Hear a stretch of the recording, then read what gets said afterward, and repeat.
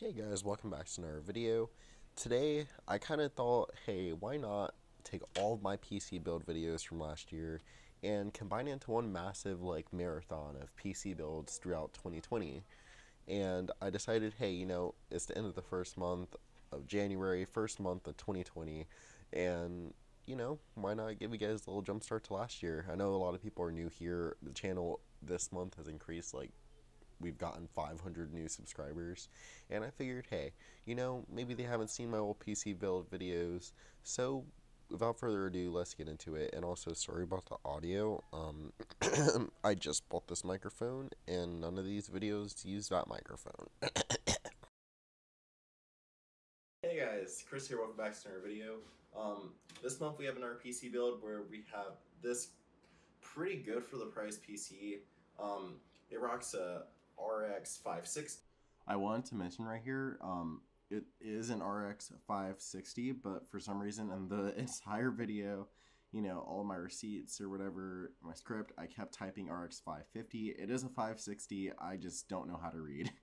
Uh, i5 4th generation, 8 gigs of RAM, so it's pretty like, you know, entry level to mid range PC, depending on the way you look at it. And especially for the price where it's coming in at around $150 definitely good for the price. So let's go ahead and get into how I got the parts, um, the build process, the benchmarks, and yeah. But before this video starts I want to mention only about 1% of you guys are actually subscribed. So if you guys actually subscribe to my channel, it really helped me out. I do take a lot of time making these videos, and yeah.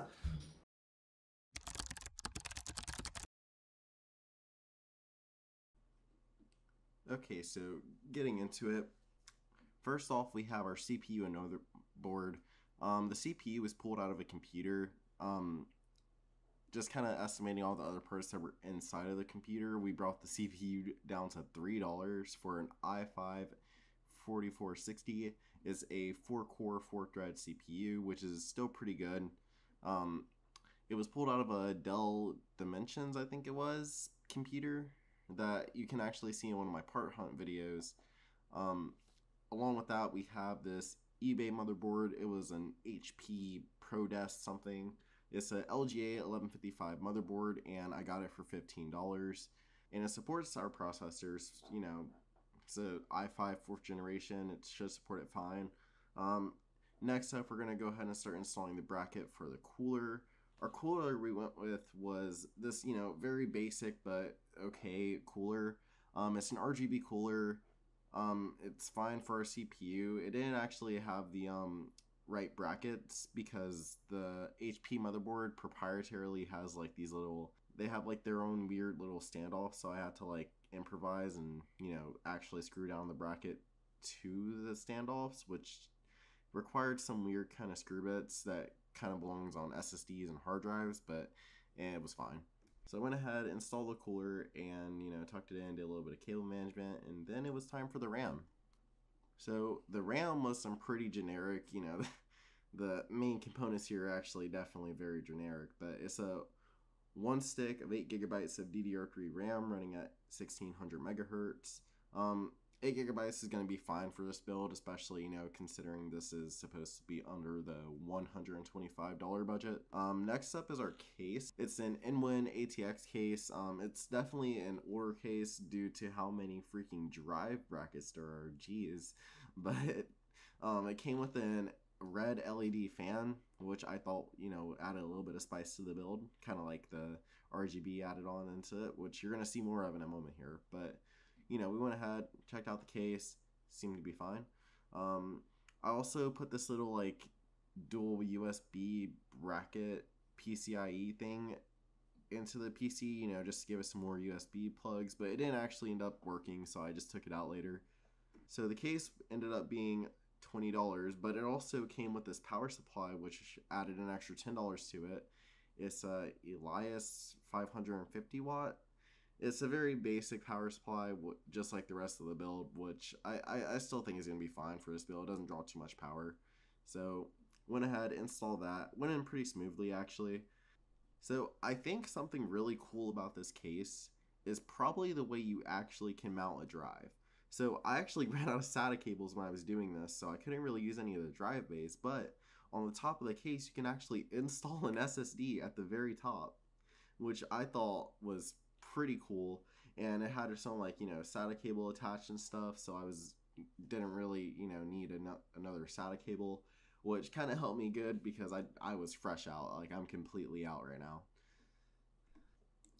So with the hard drive in, we can go ahead and put our motherboard inside. I turned the motherboard on side, that way, you know, I can get a better angle for you guys. And also because it was kind of hard to actually screw it in, mostly due to the fact that it's a micro ATX motherboard in an ATX case, so it kept trying to slide down and stuff. Unfortunately, though, it didn't come with an I/O shield, which kind of sad because aesthetically it doesn't look as good when I'm trying to, you know, flip it on Facebook. But yeah, it went in pretty good. I went ahead, connected the SATA cables. I tried connecting the USB stuff, but you know, the external one I didn't really help that much. But I connected USB 3 ports, um, basic USB, um, connected the power cable. The, the um, CPU power was actually hard to get in because it was in a weird spot on the motherboard. So I have to actually route it under where our graphics card is in order to actually get it to um, stretch far enough to go in. It was actually not as tight as I thought it was going to be, but you know, it, it did okay. Finally, we have the XFX RX 550 2 gigabyte. It's a very, very low power graphics card. It doesn't have that much capability, but in this build, it, it's gonna fit fine, basically. Um, it cost me 30 bucks, so I think that was pretty good. And yeah, it, it's not very big, so you know it doesn't get in the way of anything. And it covers our CPU power pretty well. It only takes one six pin power connector, which, you know, it, it doesn't have that much weight, doesn't have that much power. So I think for the graphics card, it's actually fine for this build. And yeah, it was ready.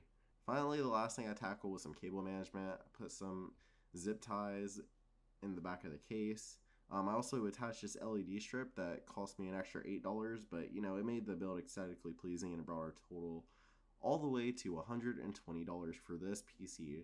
So now that we have the RGB strip installed, let's go ahead and turn this thing on. And there we go. Okay, it's on, you know, sighting up. So I'm gonna go ahead, close it, you know, tie it up, and now we have our PC built. So moving on to benchmarks, we tested some games here. Um, I completely removed Apex out of here, so we're down to I think four games, which is still fine. You know, it gets you a pretty okay idea what the performance of the PC is like.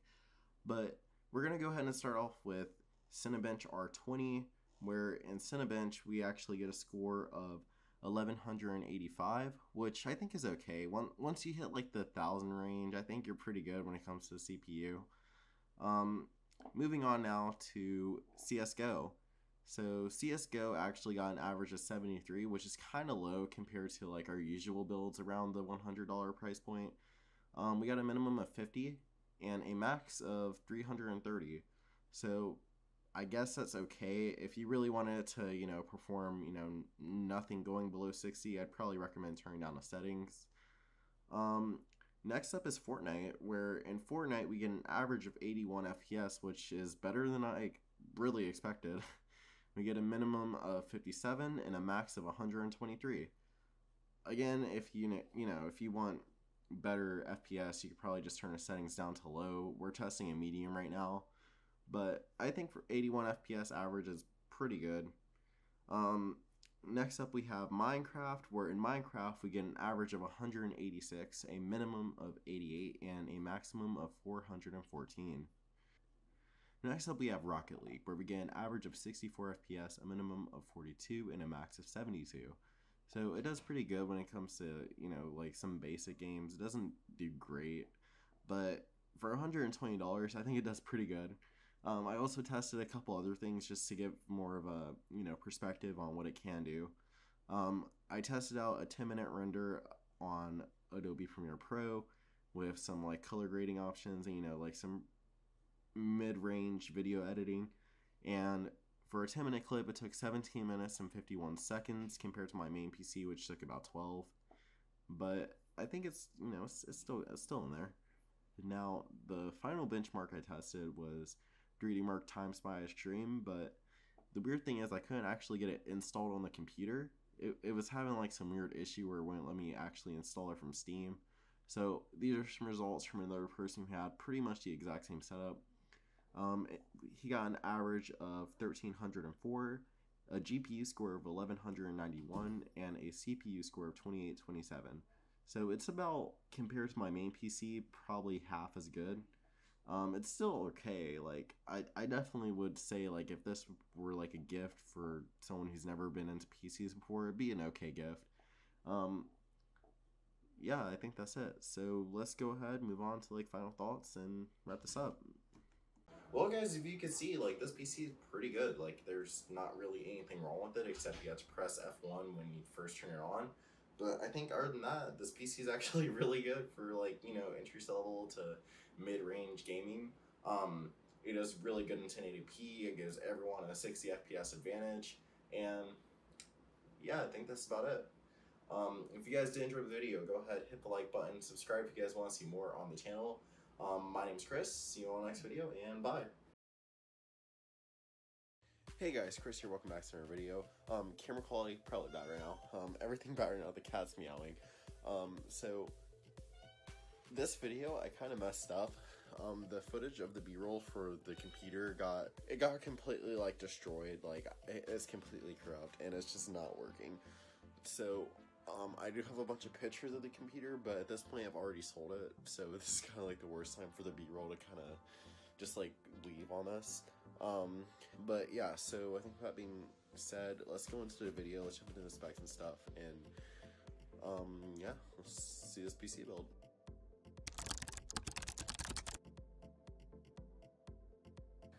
Okay, so this PC did need some requirements. Um, first off, it needs to be overclockable it needs to be cheap and realistically it just needs to look pretty good. So originally I did want to do like a Ryzen theme build, but quickly realized that Ryzen has kind of gotten a little bit expensive on like the used market than what it usually is. And the cheap stuff, like the AliExpress stuff that I can get for like dirt cheap, wouldn't get here in time for the video. So I decided we're not going to do Ryzen. Um, I found this deal on Facebook Marketplace for a CPU, motherboard, RAM, and graphics card combo, which was actually great because it was the base to our system. They were originally listing it for 250, so I kind of sent in a low ball because it was kind of older hardware, and I said that I could do like 120. They said sure, so we ended up getting a i5 2500K, 16 gigs of DDR3 RAM, an Asus LGA 1155 motherboard, a Corsair 120mm AIO, and finally a GTX 1050. So for my typical PC builds, you know, we tend to have a little bit stronger of a GPU. Um, so this one's kind of going to be a little bit more weak compared to what I've done in the past. Um, the next thing we needed was a case to fit all this. I found a cool looking ATX case called the AeroCool Cylon RGB. It's a pretty cool looking case. I definitely like the design, especially considering it has a PSU basement, and that cost me a good $50. Next up is a power supply.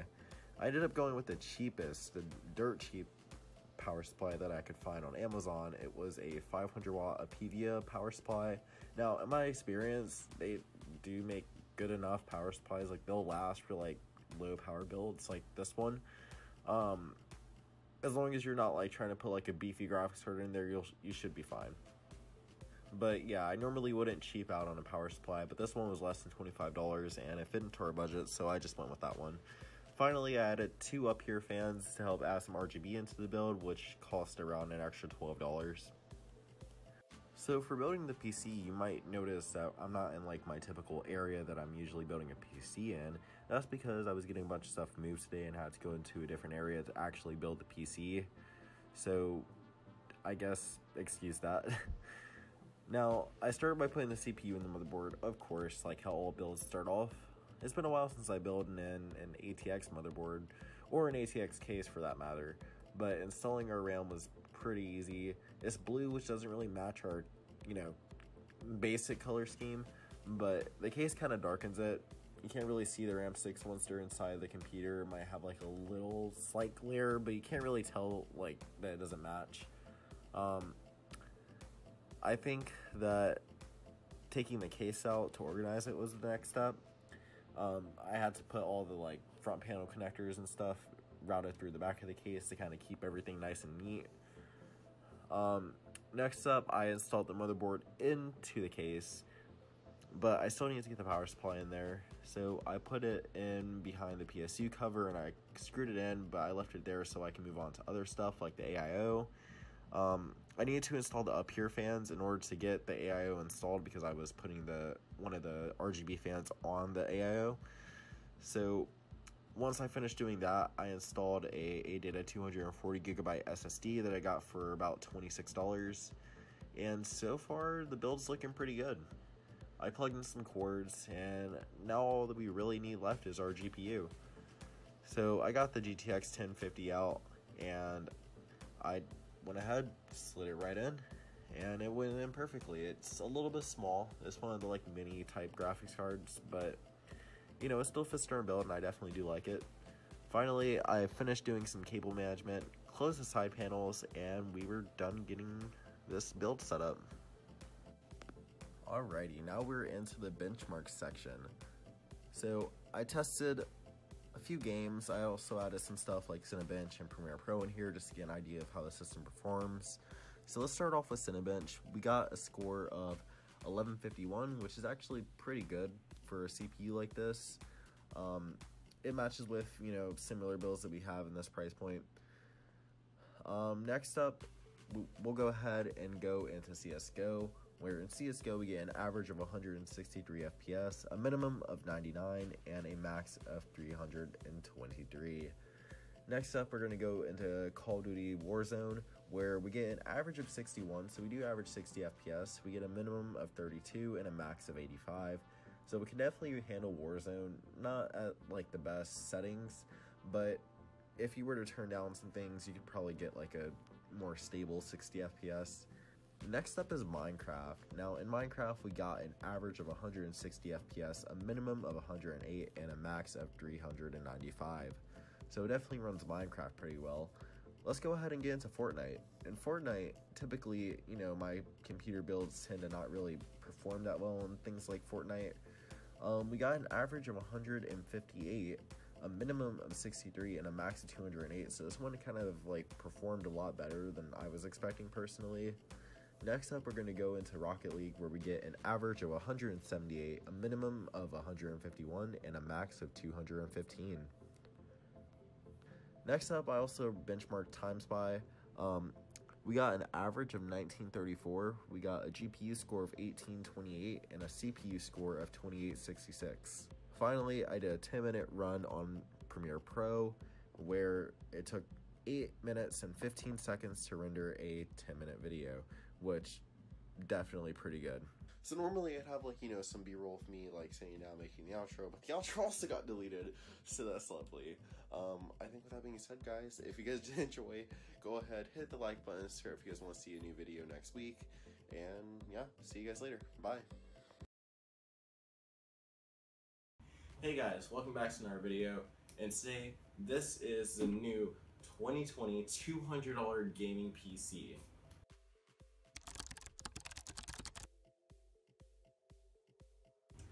This PC is equipped with an i7, a GTX 960, and we only paid $200 to build all this. So this video I'm to go through the parts, I'm to go through the benchmarks, the usability of the PC. Um, this one compared to our um, $200 PC from I think November actually has like more customizable RGB controls, um, more colors, and it actually performs a lot better. So if you're excited for this video, go ahead and click the like button, subscribe, and let's get into this. So let's start off with our processor. For our processor, I've chosen i7-3770. I got this on a deal with Craigslist, apart with a B75 gigabyte motherboard for a total of $50. Next up, if you guys saw my last parts hunt, you guys saw that I got about 24 gigabytes of DDR3 RAM and a 16 gigabyte kit of that would take it to $7 for 16 gigabytes of DDR3. Our cooler is the Hyper 212 Evo. Um, I got this for $14. Our case is the Deepcool Matrix X 30 case. I got that for $27 on Amazon. Our graphics card is the MSI GTX 960 4GB edition. That was $50. Our power supply was an EVGA 450BQ, which is a 450 watt power supply that I got for $20. For our SSD storage, we have an ADATA 240 gigabyte SSD for $28 that I got on a deal on Amazon. And for mass storage, we have a 1 terabyte Seagate Barracuda hard drive for $10. Just to add on to the total of the build, I also got a random 1 meter RGB strip for $10. We go over budget a little bit on this build. Um, unfortunately, we ended up having a total of $216, but it's not that much above the budget. And if you took out the 1 meter strip, it would bring us down to $206, and we don't exactly need the 1 terabyte Seagate hard drive. So if we delete those two things, it would bring the build to $196. But yeah, so now we've talked about the parts, let's go into the building process. So the build process was actually pretty easy. I went ahead and put the i7 inside the motherboard, but I did notice before actually putting it inside that one of the pins were bent. This made me freak out, so I went ahead and tested it, and the system still worked. So I actually realized that when I got the motherboard, the guy said that the USB 3.0 ports don't work. Now, that could be due to a broken pin, and now that makes sense to me why the USB isn't working because the pins on the motherboard are actually just bent. Then I went ahead and put on the Hyper 212 cooler. I didn't install the fan because it was going to be hard to get the RAM inside there with the fan on anyways. So I put it on the cooler and then I turned the motherboard to the side and put on both of our 8GB sticks of DDR3 RAM.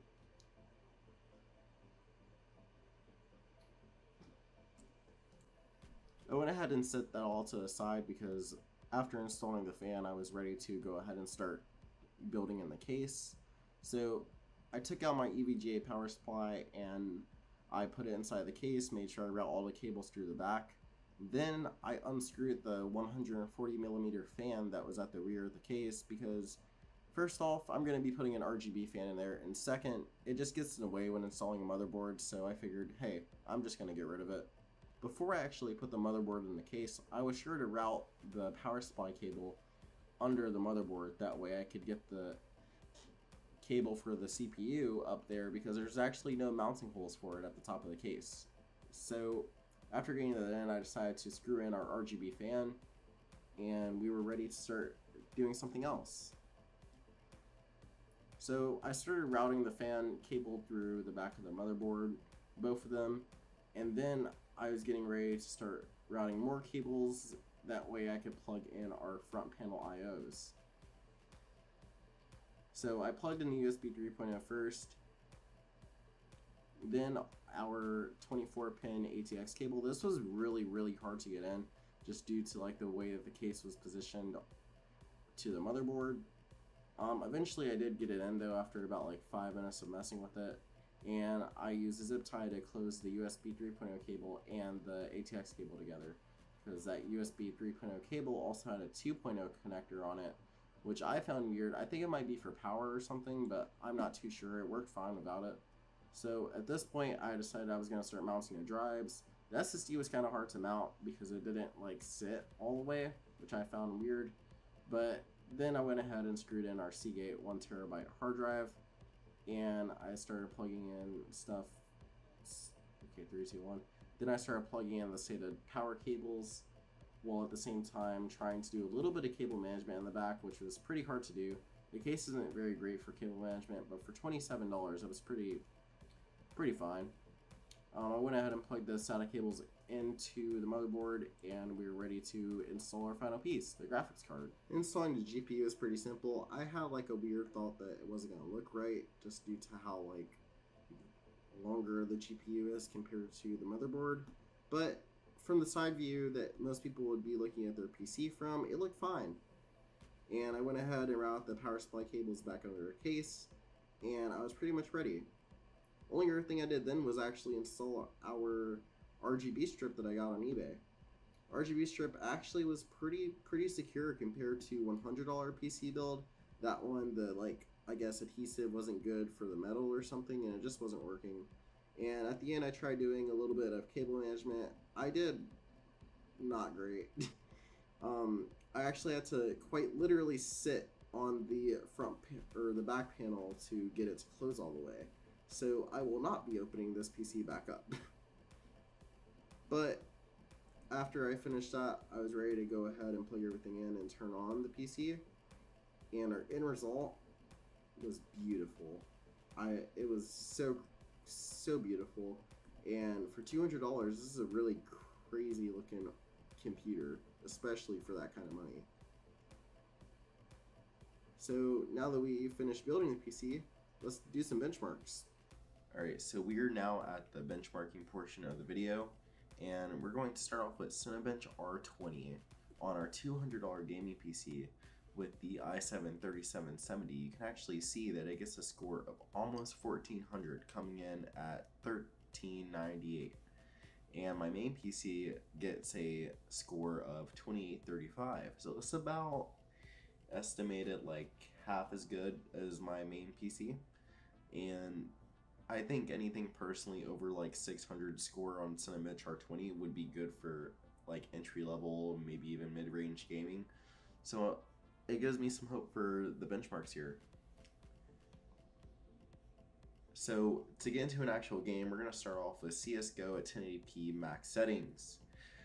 I've actually recently did a new benchmarking over my main PC, which is why these numbers might not be as consistent to previous videos.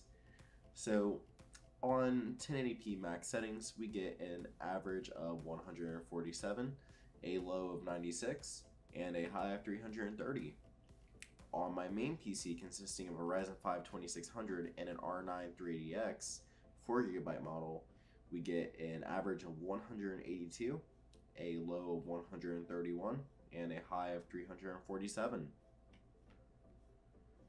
In Fortnite 1080p medium settings, on our $200 gaming PC, we actually get a higher score than my main computer we get an average of 141, a low of 81, and a high of 199. And on my main PC, keep in mind they're at the exact same setting. My main PC gets say an average of 122, a low of 79, and a high of 179. So as you guys can see, it actually outperforms my main PC, which is kind of crazy. Next up, we have Minecraft at 1080p maximum settings we have a score of 373, a low of 168, and a high of 1000, which is kind of cool. Um, my main PC seems to still win in this case by getting a score of uh, 517 FPS, 258 on the low end, and 824 on the high end which I feel like the high scores don't really matter in this game because you can literally look up into the sky and get 5,000 FPS. So I wouldn't go too hard based on what that says. Our next game is Rocket League, which this one actually comes in really close to my main PC with an average of 129 FPS, a low of 105 FPS, and a high of 106 FPS while my main PC only gets a average of 130 FPS, which is 1 FPS more, a low of 109 and a high of 184. So it's actually doing some good competing when it comes to my main PC. Um, the final game that we had tested in today's benchmarking turns out to be Apex Legends at 1080p high settings. We have a score of 64 FPS with a low of 40 and a high of 144. On my main PC, this one actually still takes the cake with a average of 79 FPS, a low of 66 FPS, and a high of 105 FPS. So as you can see, my main PC is still doing pretty good in most of the games, only really being beaten out by like Fortnite and such. So I think that's still good. for actual like um aesthetic benchmarkings, we have 3D Mark Time Spy Extreme with our GPU score, our average score, and our CPU score. So for $200 gaming PC, we have an average score of 2433 with the GPU scoring 2288 and the CPU scoring 3808, which means that the GPU is actually outperforming the CPU, which seems to be the same case when you compare it to my main PC with a score of 3152 mm. and GPU score of 2925 and a CPU score of 5629. Our final test that we actually did today, I decided to actually kind of even out the rendering on my new benchmarking tool. I recently just got a new SSD for this type of thing, and as you can see in Premiere Pro 2020 with color and effects on, a 1080p clip at 60 FPS renders on $200 gaming PC in 12 minutes and 21 seconds, while my main PC only renders it at 12 minutes and 6 seconds. So it's about a 10 to 15 second difference. And it's actually competing really well on my main PC. And I think that's actually pretty cool as it's only about a fifth of the price at the time of building. So as you can see guys, this PC performs great. It has great performance and a lot better than our $200 gaming PC build. In fact, it holds its own against my main PC, which is equipped with an i5 2600, 16 gigs of RAM, and a R9 380X. In fact, beating it in some scenarios. But anyways, guys, um, that's been it for this video. If you guys enjoyed the video, go ahead and hit the like button and subscribe if you guys want to see more on the channel. I've been Chris. Thanks for watching, and yeah, this PC is gonna go to a great home soon. Bye.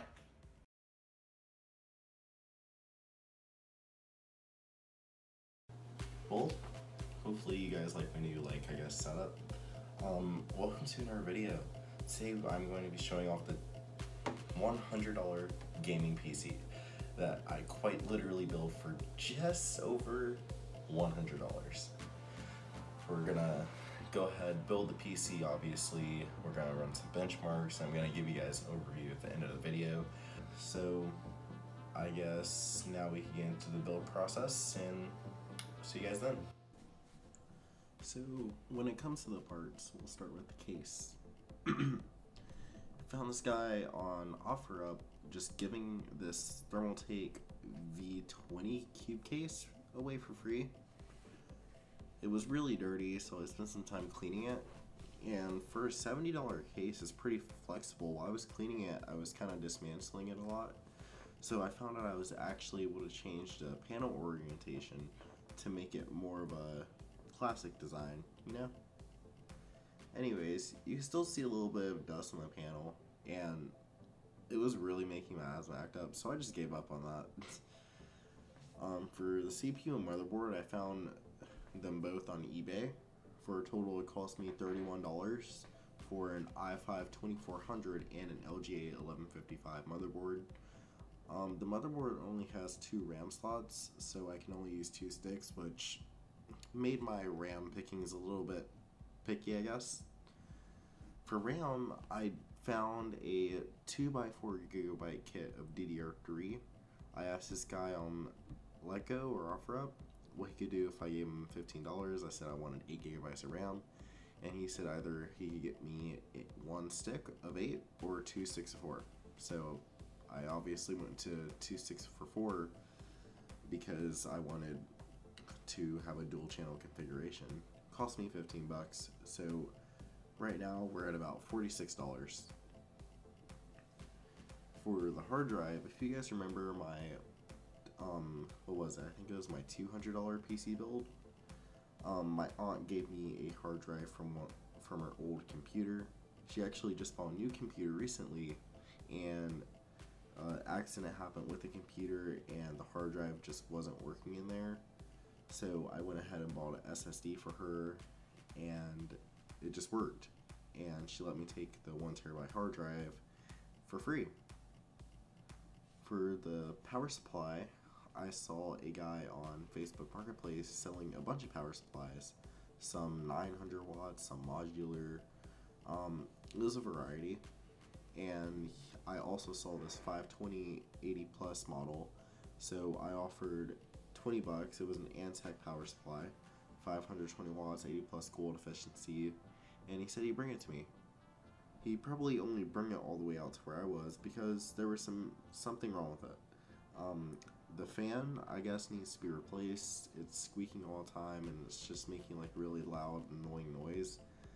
Um, but other than that, the power supply is fine. It has the right connectors for the graphics card. And speaking of the graphics card, we got a PNY GTX 760 2 gigabyte, and it cost me $35 on Facebook Marketplace.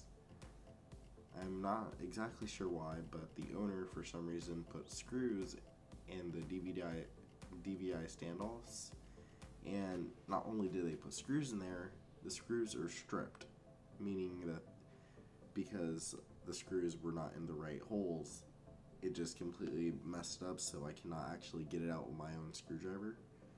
So it's pretty annoying. Um, the card still works though. You can still get the DVI plugs in there. You just can't actually tighten them.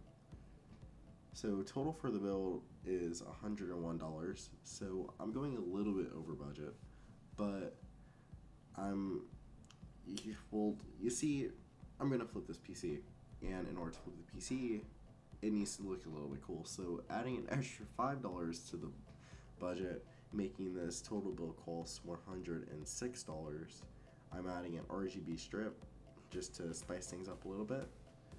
But other than that, we're gonna go into the benchmarks and see how this PC performs. Okay, so on screen you're to be seeing some gameplay of the benchmarks that have been recorded on the PC. And first off, this isn't exactly gameplay, but it's that way we can get a little basis for the system all the benchmarks are going to be being compared to my main PC, which consists of a Ryzen 5 2600 at 4 gigahertz and an R9 380X 4 gigabyte model. So maybe I'd say estimate on the performance three times, four times maybe. So let's just get into it with Cinebench R20. Um, my main PC got a score of 2784, while the $100 gaming PC got a score of 834 which is pretty good. Um, it's about, as I said earlier, about a third of the performance for like a tenth of, mm, I wouldn't say a tenth, maybe like a, yeah, about a tenth of the price. um, next up, we got Apex Legends, and we tested this for the main PC at high settings and for the $100 PC at medium settings. My main PC got a low of 62, a medium of 92, and a high of 135 the $100 gaming PC got a low of 33, a medium of 62, and a high of 103. So CSGO 1080p, both PCs at their max settings. My main PC got a low of 152, a medium of 216 and a high of 290, while the $100 gaming PC got a low of 77, a medium of 110, and a high of 218 so it was pretty good. Next up is Fortnite.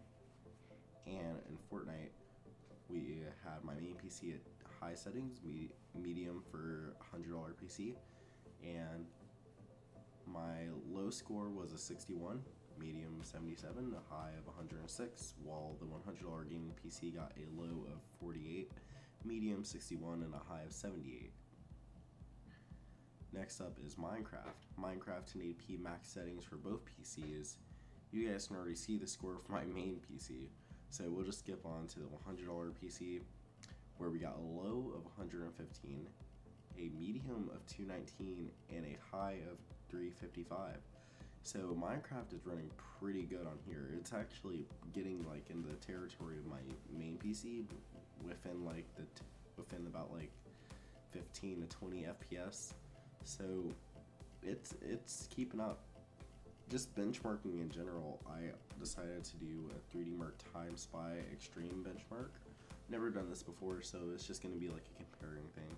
Um, my main PC got a score of 3,176, but on the GPU it got 2950 and the CPU 5632.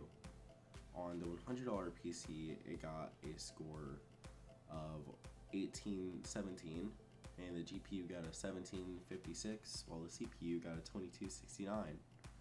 So, new benchmark added to the list of stuff to benchmark with. Um, finally, I did a little bit of video editing. We took the exact same 10 minute clip and we rendered it in Premiere Pro. Main PC got a timing of 7 minutes and 54 seconds, while the $100 PC got 19 minutes and 32 seconds. So, you guys just saw the benchmarks. This PC is actually really good at gaming. And if you saw in the Minecraft benchmark specifically, it actually matched up pretty well against my main PC back here, which concludes with a 6 core Ryzen 5. And it, it just really kept up pretty good to it. So if you're doing light games like that or CSGO, then you should be able to get pretty good FPS. Um, for some reason, I did try running Rocket League on this PC, but for some reason, it just didn't load. Um, speaking of things that just didn't really work out too well with this PC, the power supply, the Antec 520 watt, it has like this weird squeaky noise. I, I'm gonna plug it in to see if it'll show because it only shows about half the time.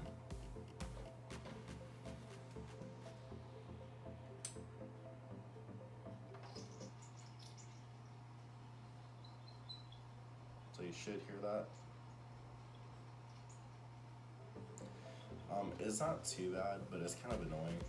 Um, also because this is a Dell Optiplex 390 motherboard, the actual front panel I/O connectors are really finicky, meaning that it turns the computer on when the power supply is plugged in. The power button works to turn the computer on, but not to turn it off. And it's just a little bit weird.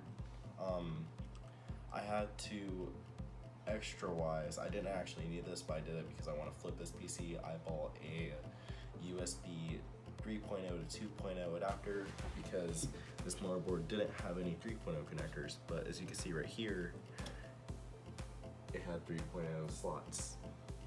Anyways, um, I got really, really good deals in these pricing, and I thought, you know, it'd be a good idea. What if I did monthly PC builds on the channel? Because I've noticed in the last month or two, my highest, most viewed video, which is carrying a lot of the views, is my $200 gaming PC video, where it consisted of like a Ryzen processor and whatnot. So obviously the PC building videos are doing pretty well. So I'm gonna add this up to the channel, see how it does, and I'll possibly do like monthly PC stuff. Because I have a bunch of parts. Like I have a bunch of parts just chilling in my closet. In fact, hold on.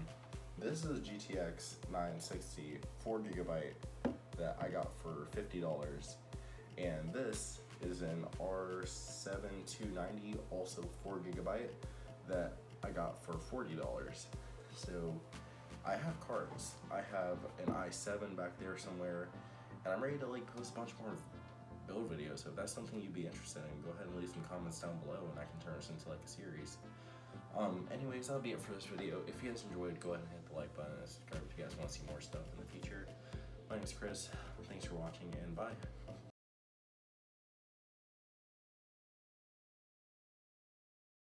Hey guys, welcome back to another video. Today, I've done it.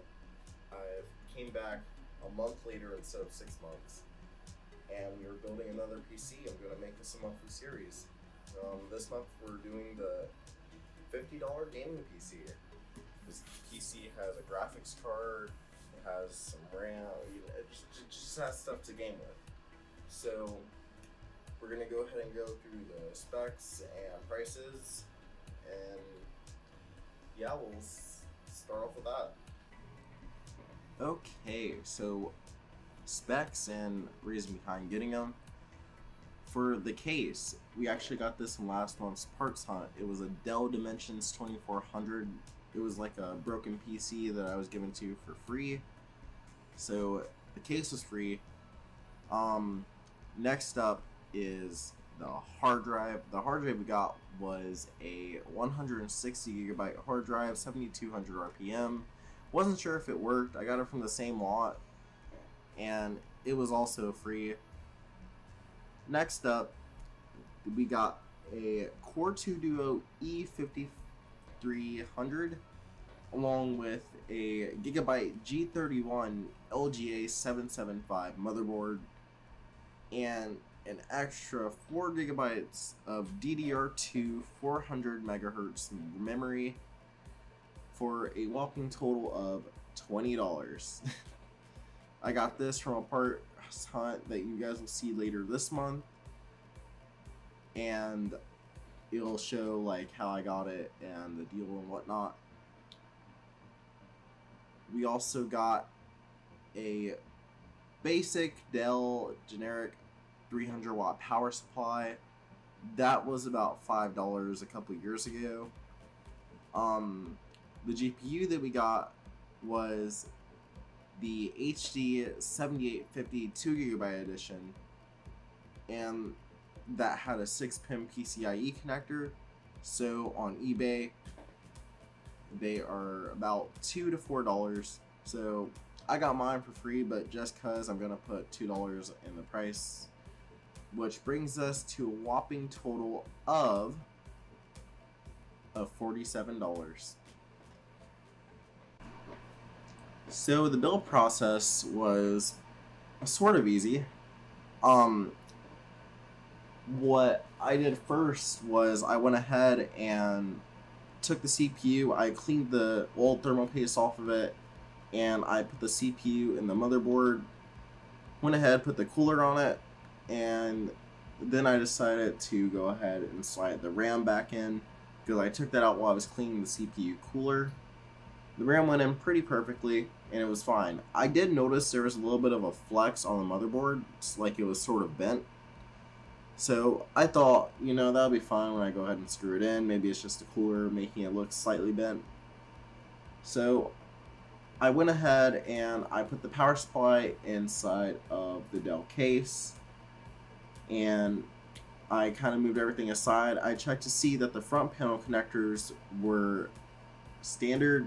Nope, they were proprietary. So I was kind of just hoping to God that it would work if I just plugged it in.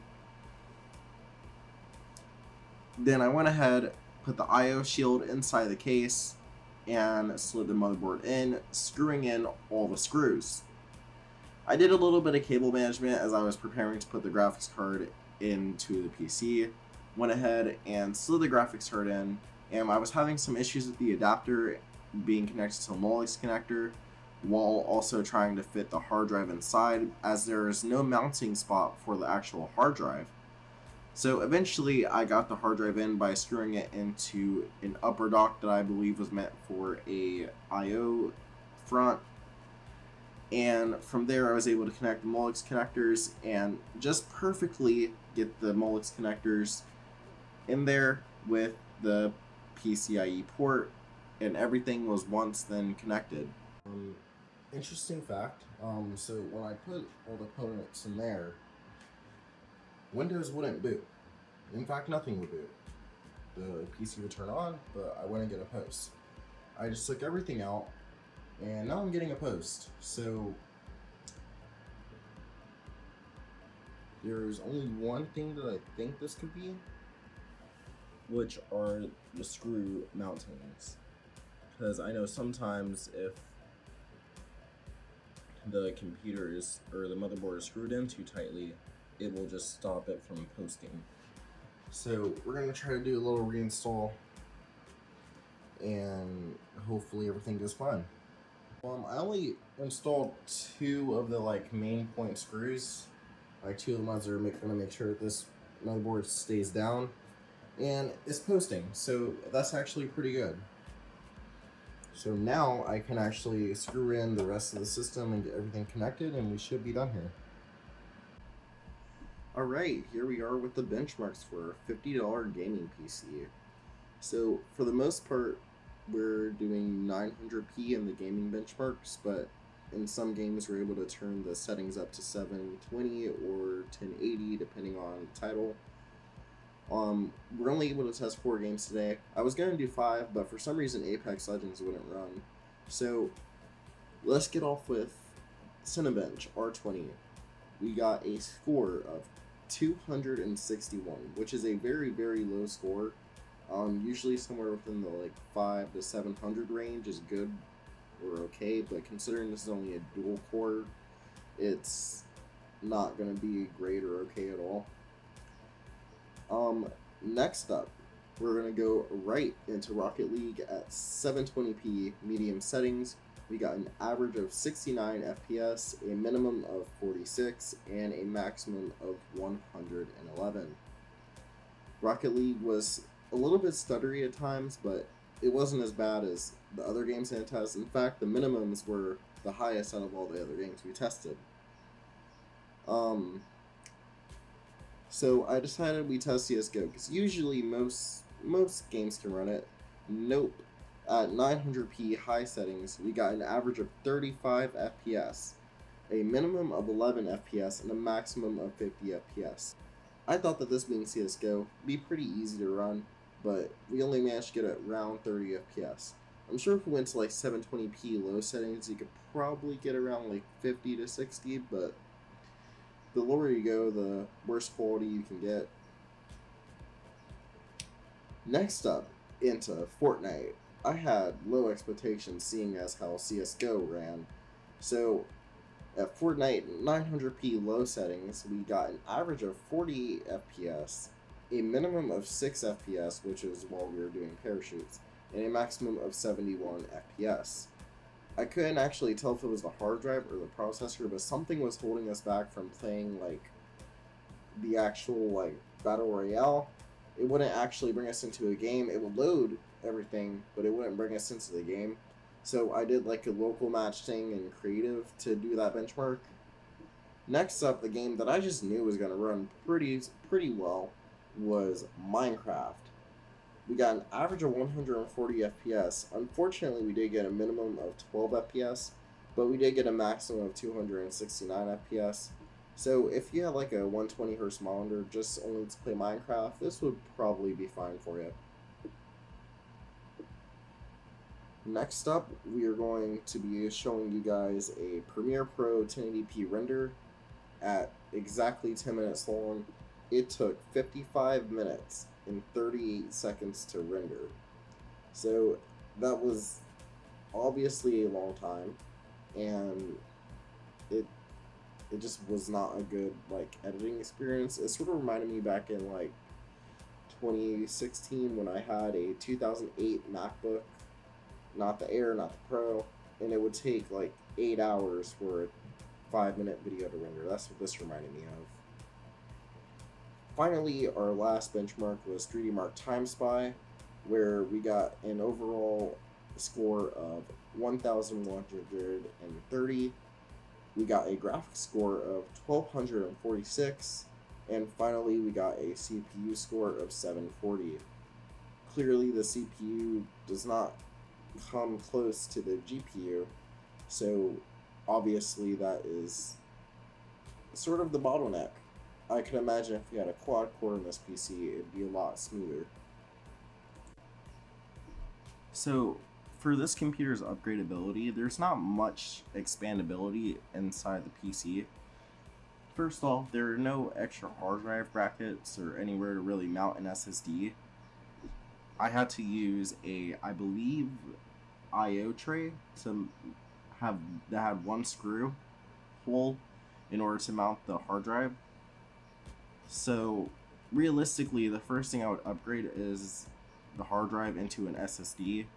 Um, the factor that the hard drive's literally hanging off by one screw, it just doesn't. It's probably not going to hold for longer than like two years. So, that would definitely be the, one of the first things that I were to upgrade. Second off, the factor of the processor.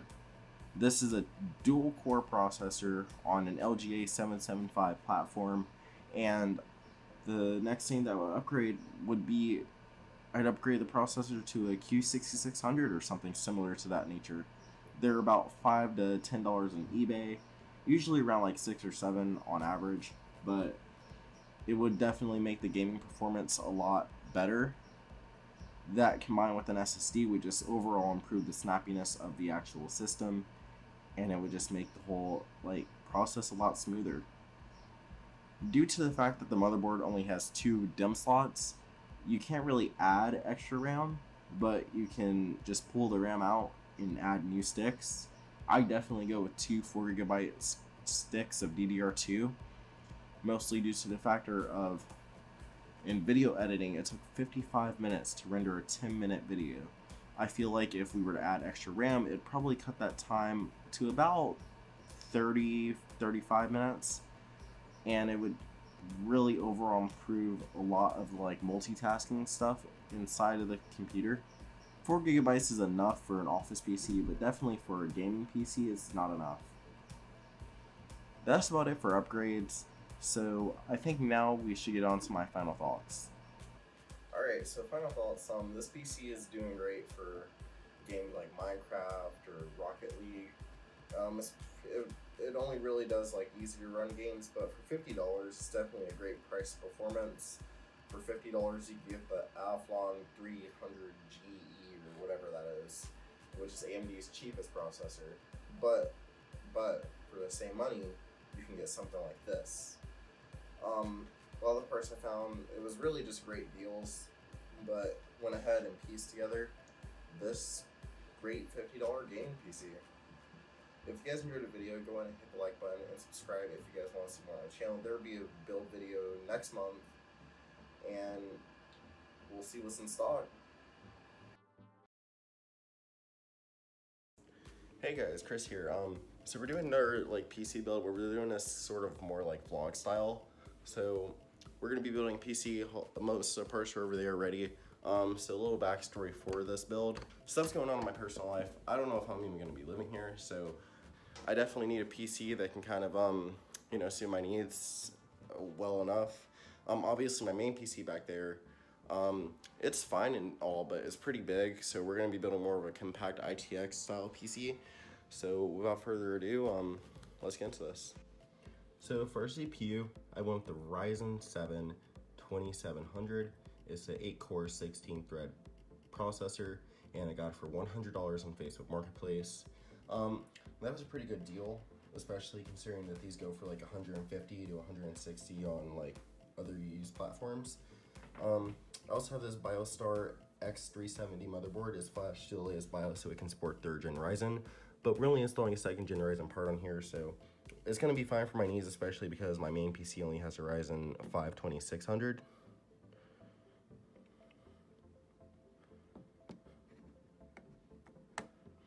The motherboard only cost me $40, but that's because um, this RAM slot right here does not work.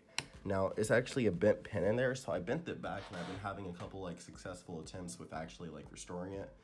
But as I said, um, I'm kind of like trying to figure out my living situation, which means I need to have a smaller PC.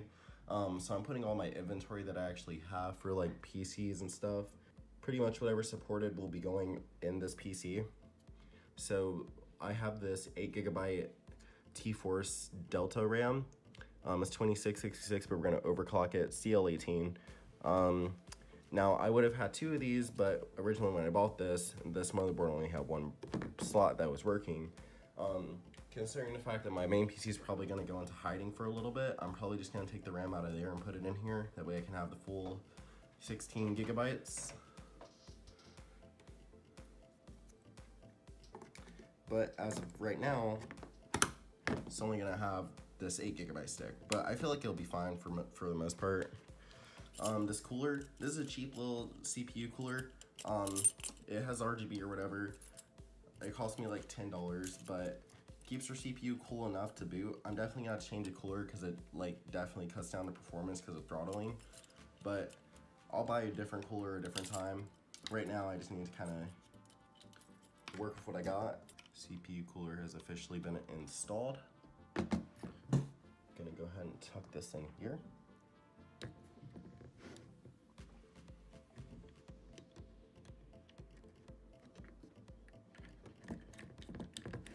There we go, get some pre-cable management there.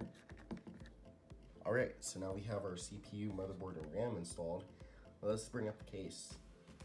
Okay, so the case I got is this um this Goldfield ITX case. It's a pretty smallish case compared to what I normally build and stuff. I usually build like full ATX systems. Haven't really had the time to you know take it out of the box. Um, over here is pretty bent in. I don't know if you can really like tell on camera, but it's kind of bent in. But let's go ahead and open it.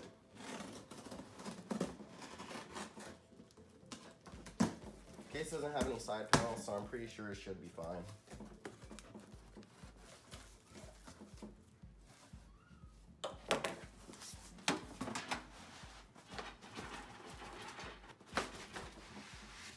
There we go.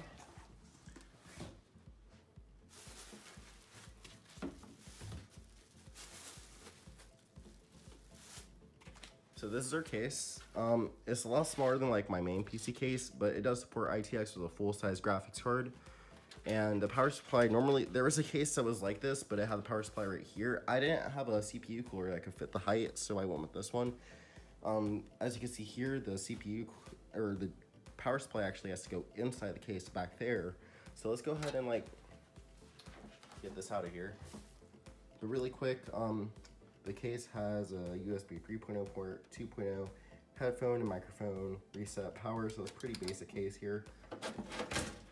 Um, everything comes off like that. And we have to remove this, that way we can get to like where we install the motherboard, and then over here is where the power supply would go. I don't really know where you would mount the hard drives at, but I'll get to that when it comes, I guess honestly for salt so far this case really isn't that bad to like work with. Um let's pull these out. Cable management is probably to be like the hardest part with this case. There's not really any room to like route anything to hide things like there's no power supply basement. Um but there's also no fans in this case at all. I might go ahead and find one and throw it in here but um let's go ahead and get our power supply out because that needs to go here that way I can put the extender through it. Power supply I went with was an EVGA 450 watt BT. I got this for $20 on, I think it was Craigslist. Um, I got two of these. You might have noticed these in a couple other of my builds, but this is the only one I have left because I sold off a different one. But it has all black coated cables, no mustard, ketchup, and red type stuff. Um, it's not modular, which is kind of sad, but I think for 20 bucks, it's definitely a good power supply because it's 80 plus. So there are actually spots where you can mount the power supply like through the little holes down here. So we're gonna go ahead and install our power supply. Okay, we got all in but one. I think this one's like stripped or something, but that's fine. It's staying in there pretty sturdy. I'm definitely seeing cable management become a real issue here. Almost forgot for a second I have to go ahead and plug this in. Because I won't have access to this when the case is turned all the way on. There we go. Okay, so the next part is we have to go ahead and install the ITX motherboard. So we're gonna go ahead, this right there. Lining up with the standoffs on the motherboard, which do seem to be in order.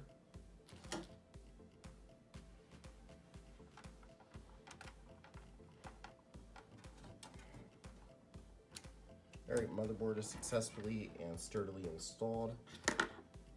So now we have to go ahead and connect some of these cables, don't we? Run these down the side over here. This seems like the best idea for cable management.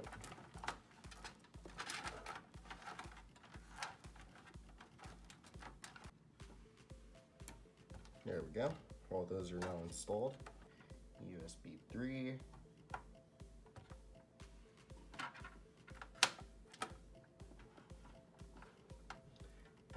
audio is, oh, you're also back over here.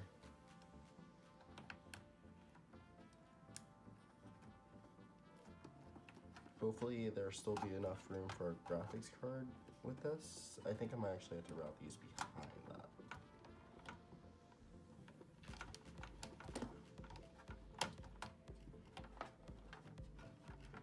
Yeah, that seems like the better approach.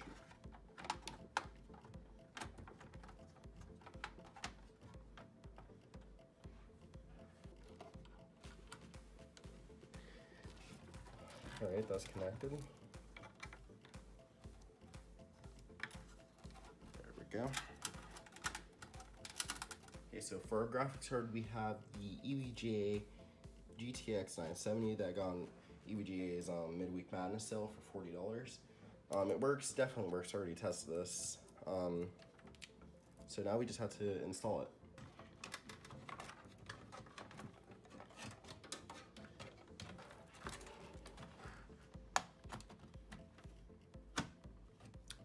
Go.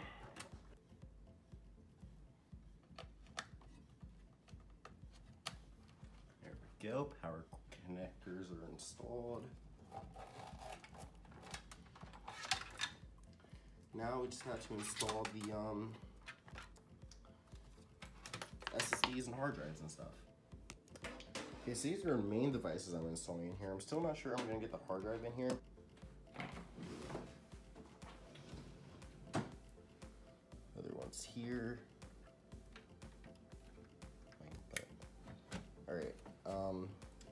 Let's go ahead and screw back in our bracket for this.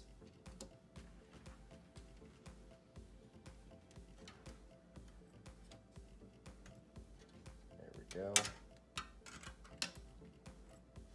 Okay, so from what it looks like, we're done with the whole build process. We just have to go ahead and put the side panel on back now. Um, as you can see here, there's no like IO shield, but I don't know, that's just what, that's just how it came. But cable management's okay, everything's kind of tucked up here. Um, there's real, it was a very tight fit for things like the graphics card and hard drive. SATA cable just barely makes it up here. And I don't even know if this is gonna like go all the way on because like, and then we have left is installing the thumb screws back on. All right, PC built. Okay, so we have the PC build done. I did end up having to switch to the um, cooler because the last one we got was just some cheap little $9 cooler. This is the Cooler Master. I don't remember the model. I don't, it's on screen. But it costs about like $23, $24 and keeps our CPU pretty cool, cool enough to actually run benchmarks because originally the CPU with the other cooler got like, I think it was like 40% the performance. So it wasn't good, but went ahead bought this new cooler. Um, it's RGB. I can like change it over here. There's a little key I can press. So it gives it a little bit of light color, and I kind of like that. So yeah. Um, only thing that I don't really like about this build is the fact that it only has 8 gigabytes of RAM, but as you guys can see in the benchmarks I'm about to show you, it doesn't matter. Now, obviously for benchmarks, um, I wasn't really like able to cram it all into this video because it's already past the 10 minute mark, but they're all going by the screen right now. And yeah, so pretty pretty good for the performance. One thing I would like to touch on would be the Premiere Pro performance. That 10 minute render literally took less than a minute and a half. That was crazy because compared to my main PC over there, it takes about like 12 minutes for a hardcore render. So that's pretty cool. But yeah, um, in fact, the 8 gigabytes of RAM didn't stop this thing at all. It outperformed my main PC by a lot. And on top of that, the only thing that kind of like shows that it didn't have like as much RAM was probably the factor that um, the like lows on the FPS was pretty actually like lower than the main PC for a lot of the games. Um, one thing I would like to touch on Fall Guys, where this is a new game that we're adding to the benchmark list. Um, on AMD, you can you cannot uncap the FPS, so it's locked at 60. But for any sort of like NVIDIA card, you can actually uncap the FPS for that. But it's a bug. Hopefully, be fixed soon before like next month's PC build. But yeah, this is my little like runaway system, and as you can see over here, it's about half the size as my main rig. Now, I do have four different drives hooked up. Um, they're not actually like connected to the system because I only have two SATA cables left. But I have the boot drive on here, which is actually just my benchmarking drive, so I didn't really need to add that into the system. And this one terabyte Western Digital drive. So with total, the PC costs about a hundred and or no three two one, three hundred and fifty five dollars, give or take like an extra five or ten bucks. and I do like it. It performs a lot better on my main PC. It's a lot smaller. It's not like aesthetically as pleasing because it only has like one little RGB um, CPU cooler, but I think overall it's a pretty good PC, especially for the price. It outperforms my main PC at about a third of the price. So yeah, um, if you guys enjoyed the video, go ahead and hit the like button and subscribe if you guys want to see more videos on the channel. My name's Chris. See you all in the next one, and peace.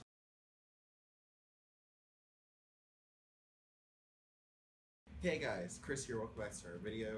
Today, I'm going to be showing you guys my August PC of the month, the $150 gaming PC. Blue themed, pretty, pretty good specs, and, well, I guess for the price, but compared to other videos on my channel, this PC is coming in at around $150, give or take, um, a couple extra add-on features. But yeah, so let's get straight into the specs and then jump into the build process, do some benchmarks, and show you guys how good this PC is.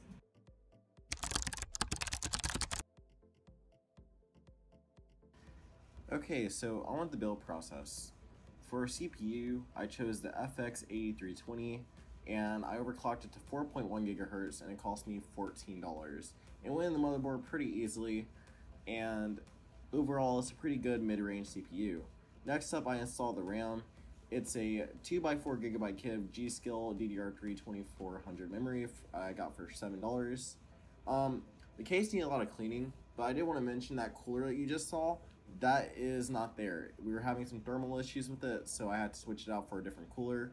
But yeah, I had to clean up this case because this case was pretty dusty, pretty dirty, and as you can see, I am trying my best. but this power supply I got for free in a PC parts hunt that I did last month. Um, went ahead and plugged the power supply and screwed it in back into the case. Um, I went ahead and installed the I.O. shield, that way I can go ahead and put the motherboard in. Motherboard went in easily. Speaking of that, it's a $14 um, Asus MSA 97 AM3 Plus motherboard, and it's a pretty good motherboard. It's of course overclocking, which is how I was able to overclock CPU. Um, it took a little while to get the fan screws in because um, the cooler was just like really in the way, and I also was trying to get the CPU cable in really big. Um, went ahead and pull out the drive slot, that way I can plug in our SSD. For SSD, we actually chose the 240 gigabyte SSD from ADATA. I got this specific one for $20 because it was used, but it's a pretty good SSD and I've been using it a lot recently.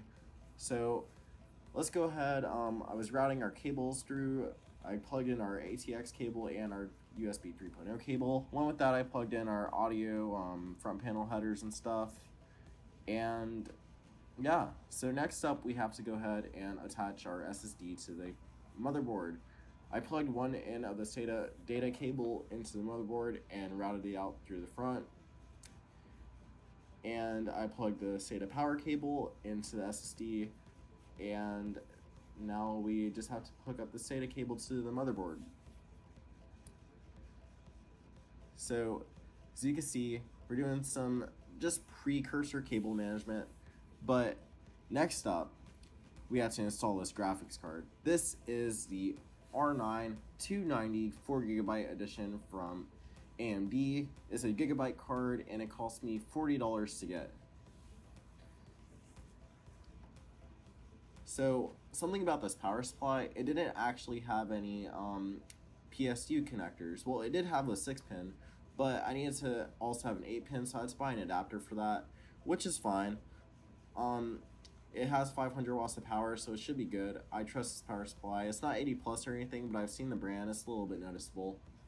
And I try cable managing that a little bit, but obviously on the back, that's where we're to get the most cable management done. I got a bunch of um, zip ties and um, reusable ones from Amazon, and it fit in the case pretty well. Um, speaking of the case, this is the Corsair Carbide Spec 2. It's a mid-tower ATX case that I got for $20. And the final thing that I put in there was this 1 meter RGB strip that I got on eBay for $10. Made us some extra spice to our already blue theme build, and we were able to set the color to blue, so it was pretty good. Okay guys, so for benchmarks today, we're going to start off with Cinebench R20. I want to see the performance difference between overclocking and not overclocking. And without overclocking, we got a score of 1035 points.